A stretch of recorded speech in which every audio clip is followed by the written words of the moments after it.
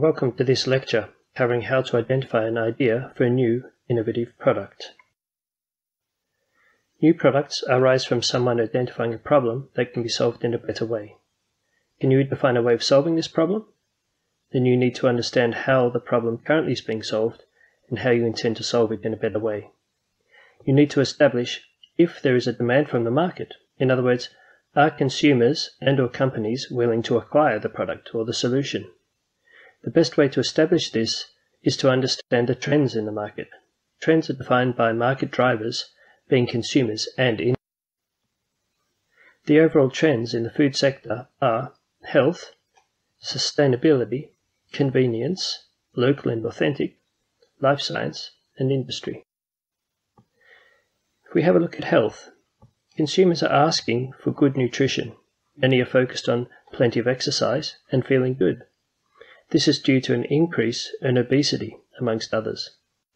The free from tendency is, for example, free from sugar, glucose, lactose, additives, GMO, and more. Consumers are becoming wiser and want to know what are they eating and where does it come from.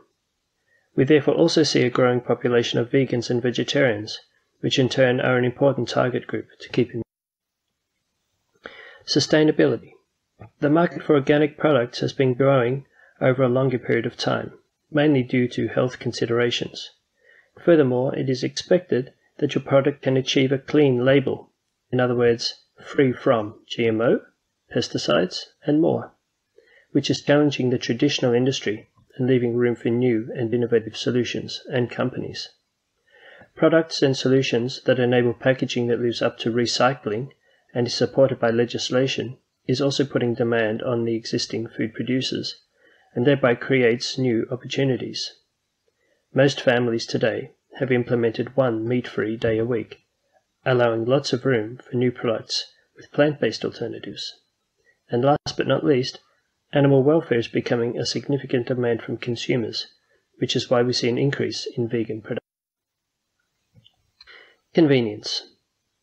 In a world where people are working more and more and families are stressed by many daily tasks, convenience products and solutions are becoming a demand from the market. Therefore, meal solutions are very popular. You see this in products such as washed potatoes, washed salads, washed veggies, and also in oven ready meals. This combined with services that deliver directly to the home, often subscription based. The younger generation in particular ask for on the go products such as protein rich smoothies and fruit and chocolate bars. But we also see a demand for slow food products that are prepared, pre prepared, and in the higher price range. So, there's lots of opportunities for new innovative solutions. Authentic and local food products. Consumers are more focused on locally produced food products.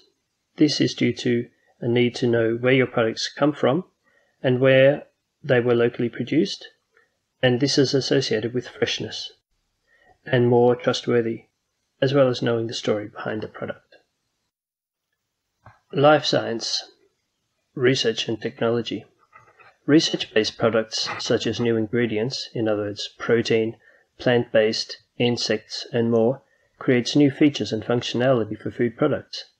This could also be new ways of analyzing and diagnostics of ingredients, shelf life, date of production, and more. This can also be methods of incorporating side streams and or byproducts into traditional food products, thereby eliminating food waste. This could also be spent grains from brewing, which has a high protein level.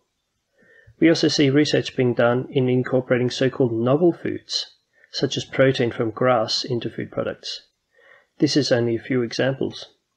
The above are usually associated with intellectual property rights and dependent on food regulatory issues or novel foods authorization. For this area and all of the above, it is important to keep in mind the rule for health claims. You have to be careful with how you describe the effect of your product or your solution. You can find guidelines on EFSA's homepage. Industry trend. Industry is asking for products that can increase efficiency in production and supply chains.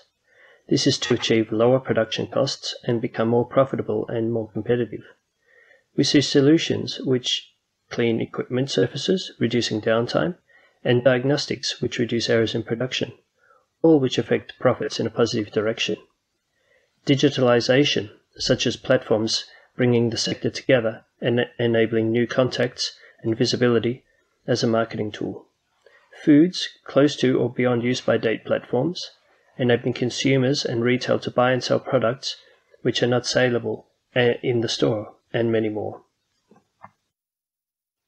To conclude, I wish to emphasize how important it is to research and understand your market and what consumers and industry are demanding. When understanding your market, you will also be able to identify competitors. Who else is solving the problem, and how are they doing this? Can you compete with them? Is it a market where there is room for more players? And most importantly, who is your customer? Is, the cus- is it a consumer or is it an industry player? Who are you creating value for and how much? In other words, is it a cost saving, a competitive advantage, or something else?